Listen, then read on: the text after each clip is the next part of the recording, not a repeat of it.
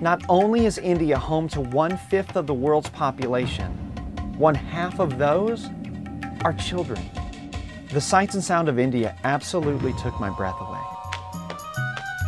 But one thing moved me, perhaps more than any other. It was the countless faces of children.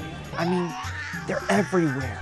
I couldn't stop seeing into the eyes of the children as they walked the streets in the cities and the villages as well. Everywhere I looked, I saw the children. It was painful at times to look into their faces, and yet somehow it wasn't.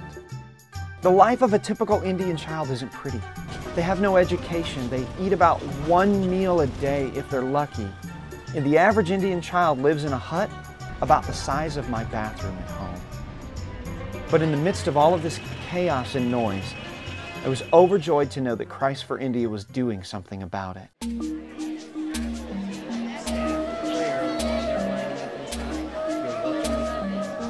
When Dad moved here in 1981 to start the seminary here, he had a vision to train young people, send them out all over India, all over the world, get them to multiply, and then expand the Christ Great Commission.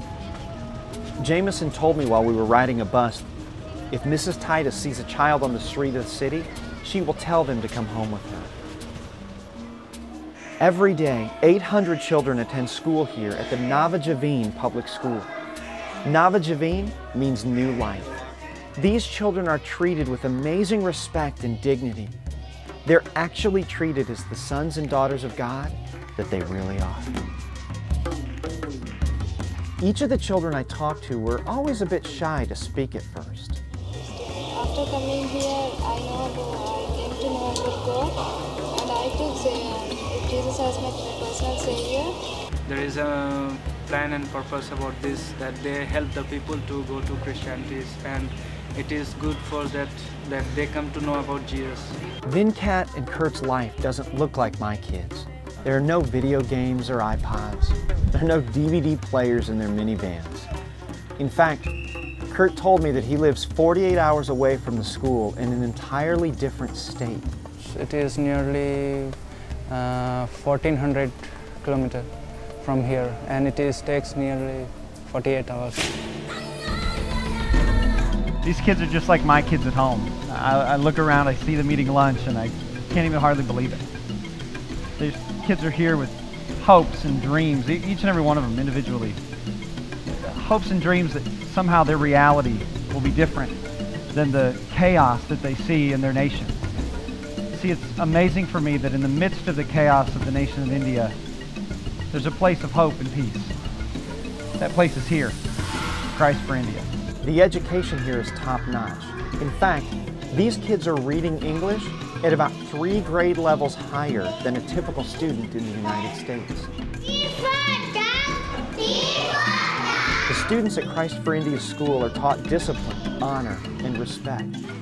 There are 375 students who live on campus, many from far away but many from nearby who just don't have parents to care for them. As you can see, the School at Christ for India is working. We've talked to so many of these children today who come from Hindu homes and families, but because of this school, they're learning about the love of God and the grace of Jesus Christ in their lives. It is incredible. This ministry is incredible. I was talking to Jameson recently, and he said to me, Matt, we can change a nation if we can touch the children. Clearly, they're doing that. The Titus family believes for the thousands of dollars it takes each year to keep this school accredited, functioning smoothly, and operational.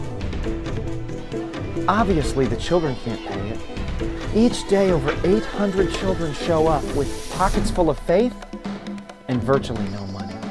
This ministry is taking care of not only just the spiritual needs, but the physical needs. We're serving about almost 3,000 meals daily by faith.